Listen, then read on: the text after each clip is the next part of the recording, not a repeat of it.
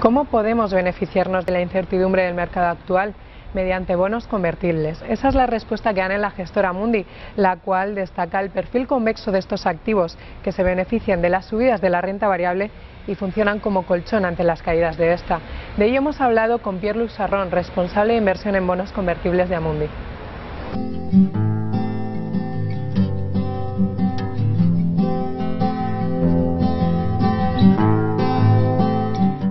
On the long period, they do that because uh, they do not uh, they participate to the uh, increase of the equity, but they do not uh, increase as the equity is increasing.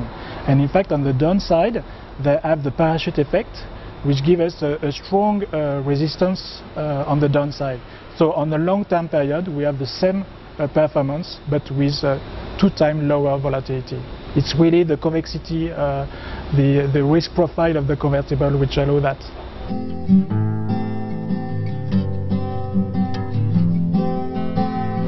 Today we have uh, some specific sector, much more on the cyclical sector, where we have the best bond profiles in the convertible, where we have a mixed profile, so that means a, a, reasonable participation to the increase with a good level of, uh, of uh, bond protection.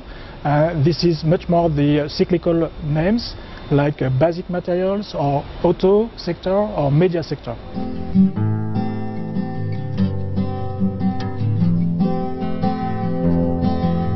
Uh, the convertible in the financial sector, there is very few.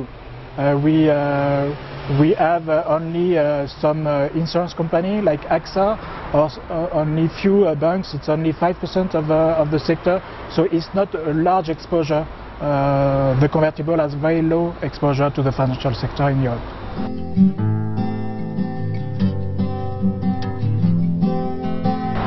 In Europe, we have mainly strategy we are based on the convexity, so the asymmetric profile of the convertible. That means participation to the increase of the equity with a, a strong uh, capability to, uh, to resist on the downside, on the downside.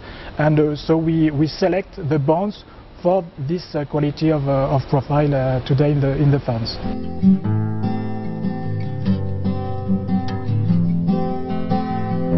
And the ratchet clause, it's really something very specific to the convertible. It's in case of takeover on the convertible, the ratchet clause explains that you, the premium you have paid at the beginning of the issue will be compensated if there is a takeover. So that means that uh, if you have a 20% premium, for example, on the convertible, and there is a takeover tomorrow, we will give you a number of shares which correspond to the 20% premium you have paid at the beginning, and then you benefit from the upside.